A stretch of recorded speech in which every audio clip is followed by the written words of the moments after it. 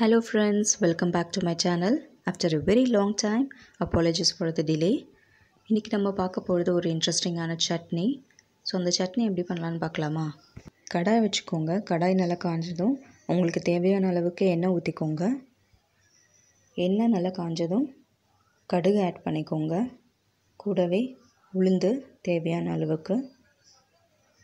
அடுத்தது காஞ்ச மிளகாய் ஆட் பண்ணணும். ஸோ உங்களுக்கு எவ்வளோ காரம் தேவையோ அதுக்கேற்ற மாதிரி நீங்கள் காஞ்ச மிளகாய் ஆட் பண்ணிக்கோங்க.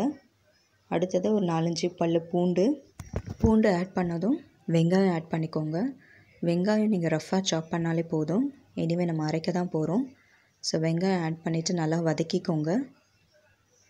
ஸோ வதங்கின பிறகு உப்பு ஆட் பண்ணணும். ஸோ நான் யூஸ் பண்ணுறது இந்த உப்பு. ஸோ இதுதான். பிங்க் கலரில் இருக்கும். ஸோ இது ரொம்ப ஹெல்த்துக்கு ரொம்ப நல்லதுன்னு சொல்லுவாங்க. ஸோ இந்த உப்பு தான் நான் யூஸ் பண்ணுறேன் ஸோ இந்த உப்பு ஆட் பண்ணதும் நான் கொஞ்சம் மஞ்சத்தூள் ஆட் பண்ணுறேன் ஸோ மஞ்சத்தூள் ஆட் பண்ணிவிட்டு நல்லா வதக்கிக்கோங்க.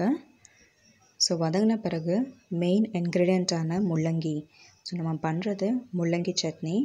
ஸோ இப்போ நான் முள்ளங்கி ஆட் பண்ணுறேன் நல்லா வாஷ் பண்ணி குட்டி குட்டியாக கட் பண்ணி வச்சுருக்கேன். ஸோ முள்ளங்கி ஆட் பண்ணி நல்லா வதக்கிக்கோங்க.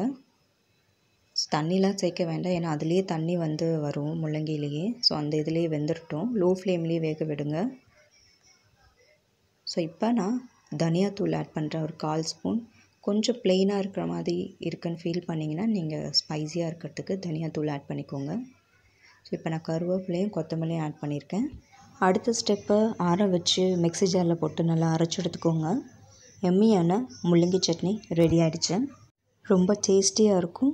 As well as dosa and இட்லிக்கு எக்ஸலண்ட் காம்பினேஷன் கண்டிப்பாக ட்ரை பண்ணி பாருங்கள் ட்ரை பண்ணிவிட்டு எப்படி இருக்குன்னு கமெண்ட் பண்ணுங்கள் இன்னும் என்னோடய சேனல் சப்ஸ்கிரைப் பண்ணாதவங்க ப்ளீஸ் சப்ஸ்கிரைப் பண்ணுங்கள் thank you so much for வாட்சிங் திஸ் வீடியோ